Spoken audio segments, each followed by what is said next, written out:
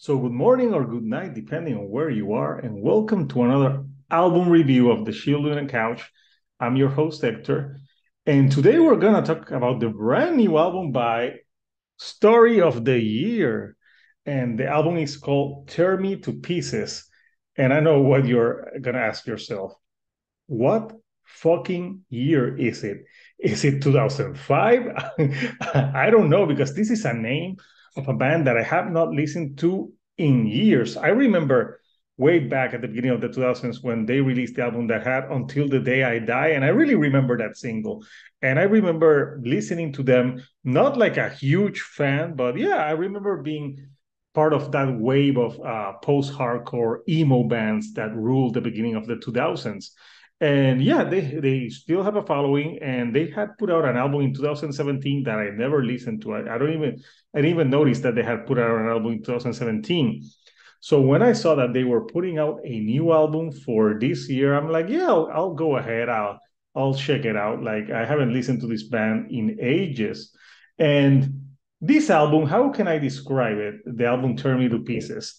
This is 33 minutes of music and this is what I would describe as a guilty pleasure because this is what these songs are for me. They're a guilty pleasure. I, you know, they're. Uh, I can say that I enjoy them. Uh, there's maybe some songs that I enjoy more than others, but this band has some great like hooky choruses that just uh, you can feel like like you you want to sing along to them even if you even if you don't want to but you you get sucked into it because it's that catchy. And yeah another thing that uh, this album does pretty well is like uh, since it's 33 minutes you can listen to it on repeat and, and, and you know it has some replay. It's it's catchy.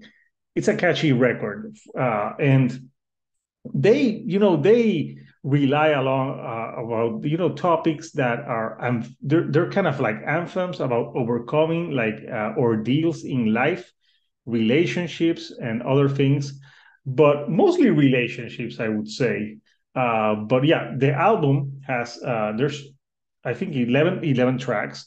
And those 11 tracks you know they they are pretty the whole album is pretty upbeat. There's like a few more like power ballady type of things, especially the the song that ends the album, "Use Me." And that's a that's a, a pure ballad, but I want to talk about that song later. But yeah, the album really starts uh, pretty strong and catchy with "Tear Me to Pieces," uh, which is you know pretty upbeat number. Uh, there's a lot of like post-hardcore emo influences on it. Uh, catch along, you know, choruses that you can sing along to. Then you have the single that they release, Real Life, and Real Life. uh, there, there's a part of the chorus that say like you and I are suicide, but that's just real life, and you oh my, you can't like go back. Like I, I was listening to that song, and I, I was it was taking me back to those times in 2004 2005 that those bands were all over the place. And yeah this is the type of song that you you could be like singing along in your car to and if you had like some true kvlt uh, metalheads getting near you you would put it down and they're like no no no I'm, I'm not listening to emo. Fuck that. I'm listening to slayer. Yes i'm true kvlt metal. Yeah. But yeah that's what this song is. It's it's really catchy and like you can't help but sing along to it even though you know it's it's nothing that you haven't heard before, but you know it, it's it's done well. Then you have a a song like Afterglow that it's catchy as well, but at least the lyrics here it's all about uh, being a father and you know being uh, life kicking you down and you being not happy. But when you see your kids it's the afterglow. They pick you up. So it's a love song to the singer's kid. And as a parent, I can relate to that. You know, who can relate to like having problems and your kids cheering you up because they do that. Uh, they they also can drive you crazy, but they can cheer you up. So Afterglow is one of the most like serious songs on the record, but it's very upbeat. It's it's not a downer song. Then you have like uh, Dead and Gone, War uh, that are like yeah, they're like uh, mid rockers, like uh, like yeah, like uh, you could you could listen to this at a Warped Tour and feel right at home. Uh, then you have like those those love songs like "Can't Save You," which is all about like you know uh, the relationship is broken, you can't save that person, and they can save you. But hey, let's try to give it another go. Type of song. But another thing that this album does a lot is pamper to nostalgia. And what better example than the next song, 2005? When it's all about, you know, like how 2005 was a great year and they're reminiscing about like running away from the cops and being so fun. And I don't know what cops you guys were running away from, uh, story of the year, but I, I don't think running from the cops is fun. Yeah, they can beat your ass but yeah, whatever. So it's that type of song, like feel good song. Every band has it.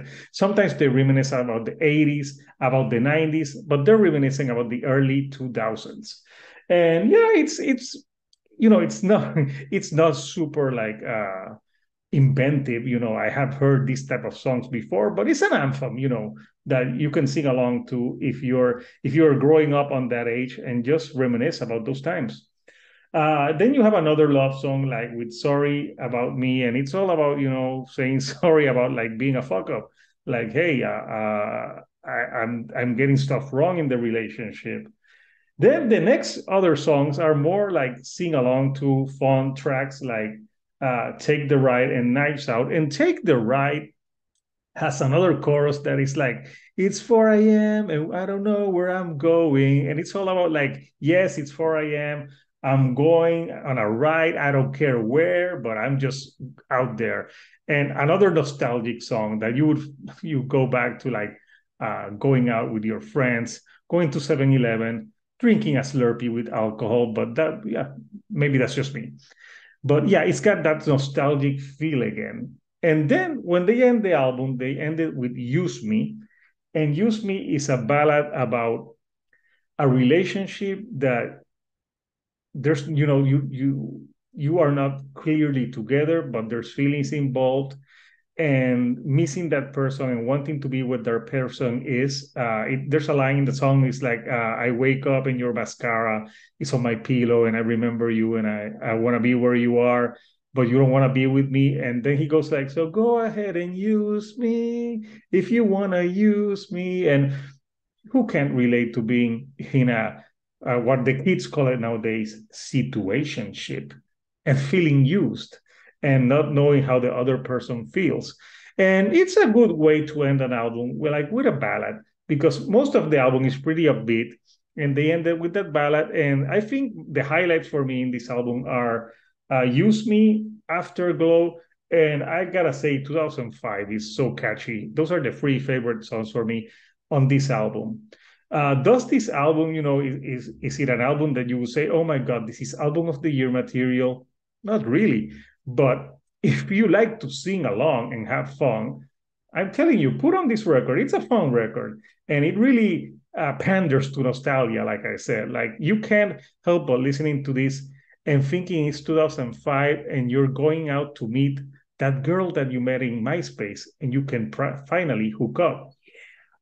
But uh, or a guy if you're a girl. But yeah, that's what this album does. It's a fun record that takes you back to a simpler time where things were more fun and emo ruled the world. So, what did you think of Story of, the Year and their new album?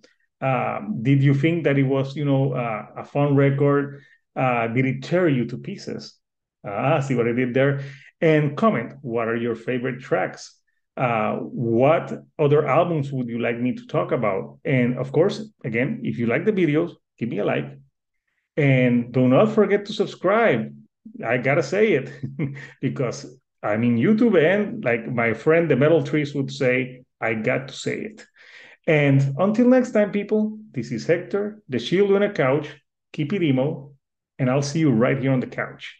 Thank you and good night.